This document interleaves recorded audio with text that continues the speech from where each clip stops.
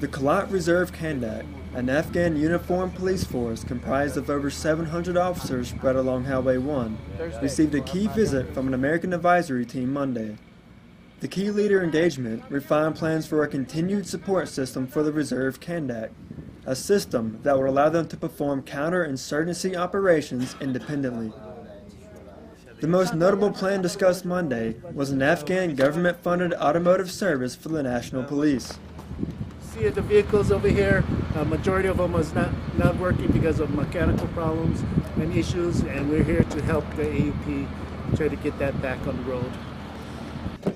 Currently, the Reserve Kandak makes backyard repairs good enough to keep most of their vehicles at the forefront of the fight. However, those vehicles could give out at any moment. We need some parts for those vehicles and we need some mechanic guys. If you guys bring those guys to help us, that will be so good.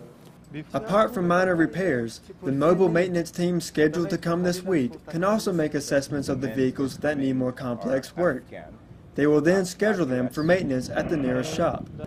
So hopefully we can connect these guys up with the government-funded uh, AMS group that will help them get these vehicles rolling again. The Kandak Reserve have overcome many obstacles and continue to surprise their American advisors. Now, thanks to the developing support systems, the Afghan police here remain steadfast in their duty to take control of their country once coalition forces are gone.